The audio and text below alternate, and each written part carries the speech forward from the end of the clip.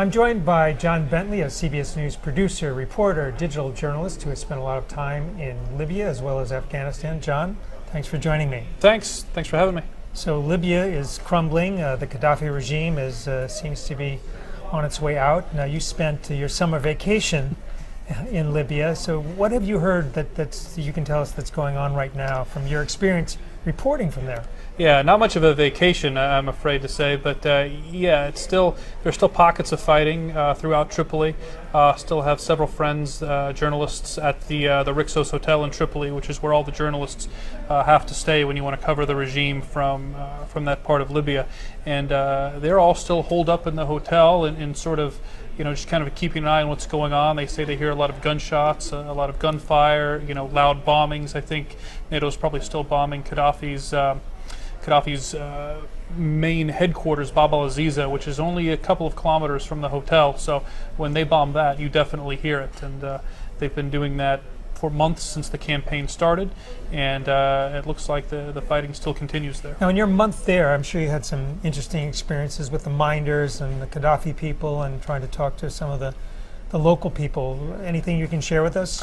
Yeah, that's that's one of the real challenges of trying to report in Libya is that you are so tightly controlled by the Gaddafi regime. I mean, you, you can't fly into Tripoli because of the no-fly zone. Literally, you're picked up at the border of Tunisia by the government. They drive you into Tripoli and they put you up at this hotel where you can't leave without uh, you know but, government minder with and, you. And supposedly they only take you to places or show you things that they want you to see. But it seems like reporting was still getting out as to the, the real story going on there.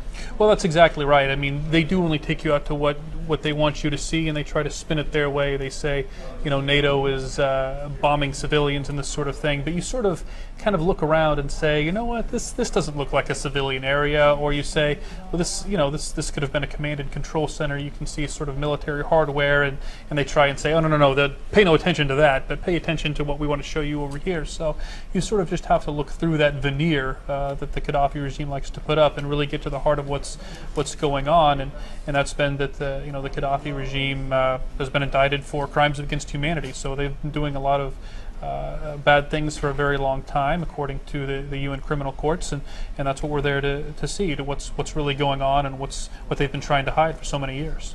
Now, the journalists uh, in Tripoli at that time, um, they're covering Gaddafi and his family, and they're saying things like, we will never leave, and uh, you know NATO are the bad guys, and uh, the United States are, is evil, and um, I mean, do, in the people that you talk to, uh, and seemingly from what we're seeing now, as the Gaddafi people are, are on their way out, that that the, the craziness of that regime just uh, wasn't wasn't really taken seriously.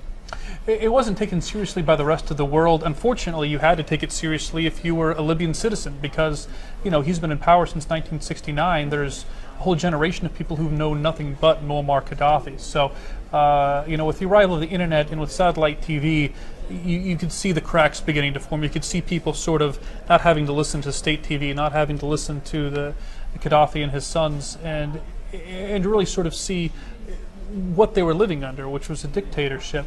Um, but there's still a lot of people that are very loyal to him. As we said, there's there's fighting happening right now, and, and still people loyal to that regime. Uh, but but the cracks are showing, and, and the you know the rebellion that sprung up in Benghazi and, and has been gathering steam all over yeah. Libya is coming seems, to a head. It seems like that reality distortion field is finally breaking down.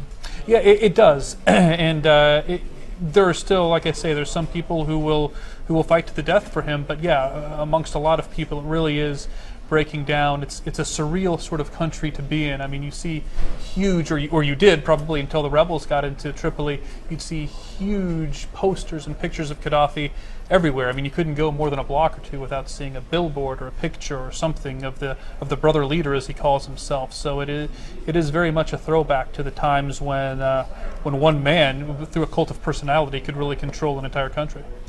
And just from, from being there and your, your experience, how do you think this will differ um, as we go out into these these uh, into this new government? How, how, how do you think it'll differ from the way that Iraq ended up or is ending up?